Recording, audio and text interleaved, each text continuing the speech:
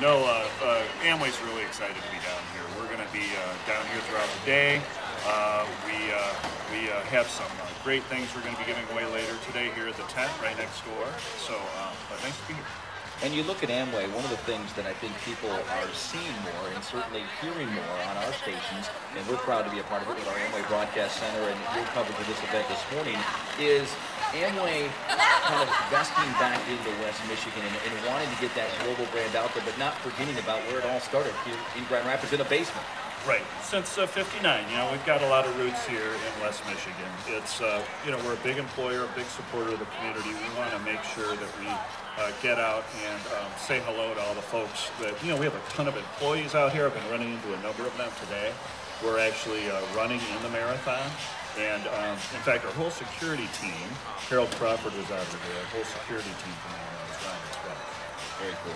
Now, when you uh, you, you get gather as a group or, or as a company and have a plan when it comes to something like this? Well, you know, I think we got the word out that we were involved in it. Um, our Optimal U group, we have a, uh, you know, our Nutrilite is one of our biggest brands. So the company is real focused on health and wellness.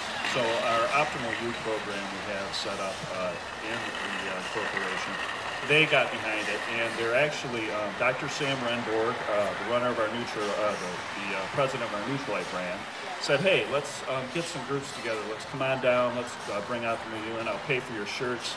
Amway got in, paid 50% of the entrance fees for anybody who wants to run.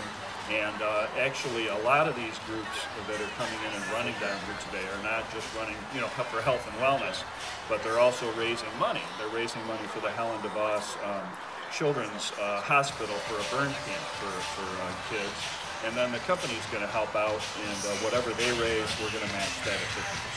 You know, we were talking with the Metro Health folks and the natural tie-in to everyone's, you know, living healthy, fitness, and John talked about the kids as well.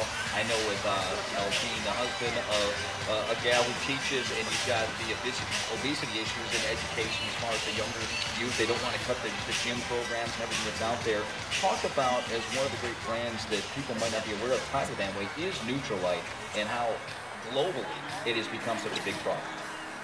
Yeah, big deal. You know, the, the, the, company, we're in 80 countries and territories around the globe, and uh, Nutrilite is, is literally the number one selling brand. Um, we uh, uh, offer just a, a, wide range of all vitamins, minerals, and supplements, and you can go to Amway.com and check it out anytime you want. David Matteo is joining us, and he's the brand manager for Global Amway brand. And you know, last time we chatted, uh, you had a little arena that you were taking care of down in Orlando and some different things going on. Right. Give us the, the global scale because obviously a lot of people said, I know when I watch the Magic, I feel like it's kind of my second team after the Detroit Pistons because of the Amway Center. Yeah, you know, uh, I was just I was down there last week. We, the Amway Center, for those people who don't know, the Amway Center is the new arena in Orlando, Florida, for the Orlando Magic. And we just kicked it off last week. We had the ribbon cutting October 1st, and then we uh, just had the first preseason game last week. Right. And, um, you know, obviously we have the connection with Rich DeVos and the Orlando Magic uh, down there, but, um, you know, it's just another testament to the DeVos and Van Andel families of getting involved in the community.